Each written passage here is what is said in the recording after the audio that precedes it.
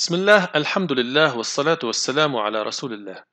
الطلبة الأعزاء السلام عليكم ورحمة الله وبركاته وأهلا ومرحبا بكم في هذا المحور الخامس من مادة الرسم هندسي 2 Engineering Drawing 2 والذي بعنوان Types of Conventions, Tangencies and Intersections.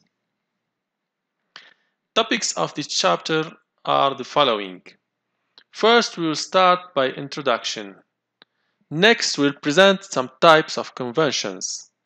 Next, we'll present alternate position of side view. Part number four will be for uh, about incompleted view. Part number five will be about aligned view. We present in part number six enlarged view. Part number seven will present non-existing intersection line. And finally, we will present cylinder intersection. Starting by the introduction, convention is a commonly accepted practices which disregard some strict rules of orthographic projection.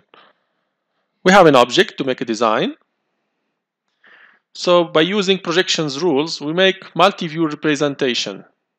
So to make this multi-view representation more readable, we use some convention practices. So we need to disregard some rules. One example here, this is the front view using a dashed line for representing the hidden edge. This is the convention practices. Purpose, pur we have so many purposes for that. First one is to improve the clarity of a drawing. Second one is to facilitate the dimensioning. Third one is to reduce the drafting effort and finally, to save or efficiently use a drawing space. Some types of conversion of convention practices are there. First one, alternate position of side view. Second one is called incomplete view.